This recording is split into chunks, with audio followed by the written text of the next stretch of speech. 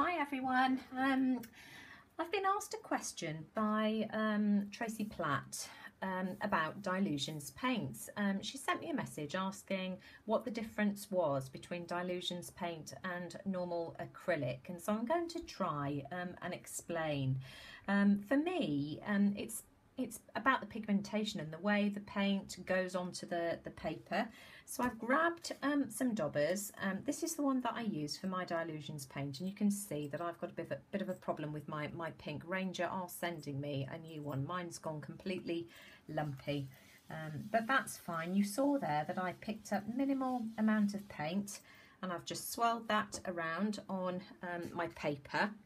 So that's the Dylusions in Bubblegum Pink and I'm going to compare it with Crawford and Black um, and Crafter's Choice Acrylic.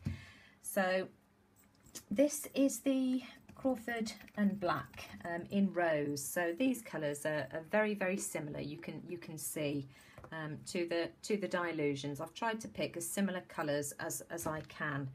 So as I say, this is the Crawford and Black and I don't know whether you can see um, that for one I don't think it goes on as smoothly and it just isn't anywhere near um, as pigmented. And this is a crafter's choice Royal and Langnickel. And you see that one's even even less pigmented.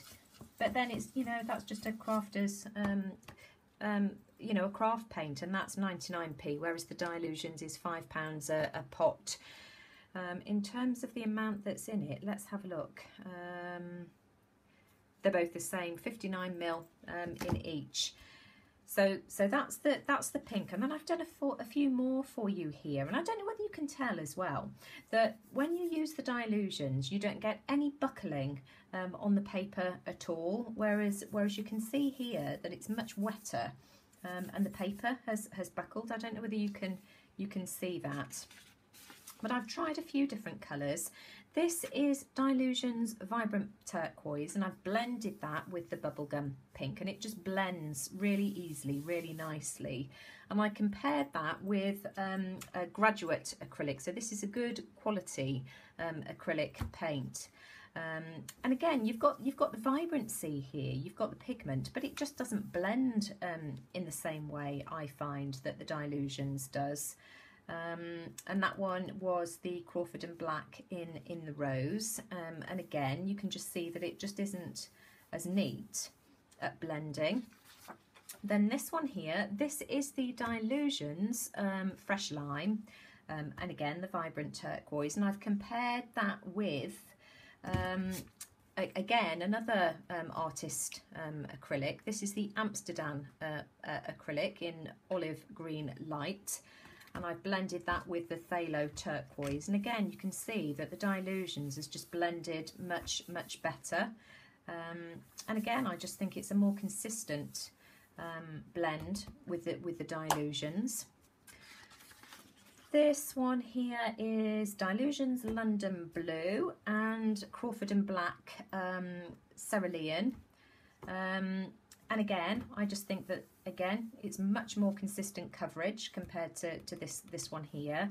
Um, so, so there you go. What else have I done? Here we go. This is Fresh Lime. Um, again, I've chosen a couple of different colours this time. That, that's Dylusions Fresh Lime. That's Amsterdam um, acrylic in the olive green light. And I've also grabbed um, the lime yellow in the Reeves um, acrylic. So these are both artist quality um, paint. But I there's just something about the Dylusions that that um, that I I like. And then what have we got here again? Um, that's the London Blue and the the Cerulean. And then again here I've blended the um, vibrant turquoise with the with the lime green and you can see that it just blends better and this one has really buckled whereas this one's just stayed completely flat so you can get, you know, similar effects with you with your other other colours. And in fact, what I'd like to do is the page that I did for Mixed Media Morsels the other day, I'll try and replicate that using standard um, acrylic paints, and then you'll be able to see like for like um, the difference. So hope that helps. Um, you can get effect with with any of the paints that that you buy. I just like personally like um, the Dylusions i find them really easy to use really easy to pick up paint out of the jar and use with the with the dabbers and and that's just just my preference. I also find as well that with the um as, as most of you know i really like the um, ranger distress the tim holtz distress paints. Um you just get a completely different effect um, with those to, to other acrylics and I'll have to do a comparison with those for, for you too.